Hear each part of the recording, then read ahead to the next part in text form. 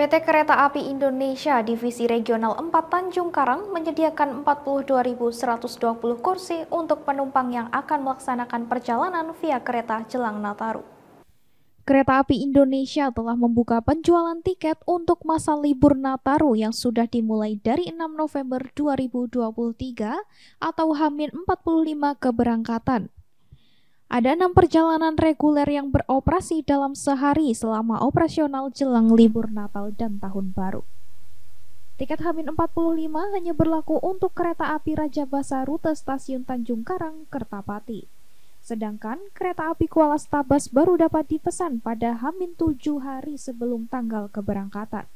Untuk tiket masa angkutan Natal dan Tahun Baru, KAI sudah mulai menjualnya pada tanggal 6 November 2023 lalu di mana penjualan itu bisa dilakukan selama eh, dalam kurun waktu H-45 hari.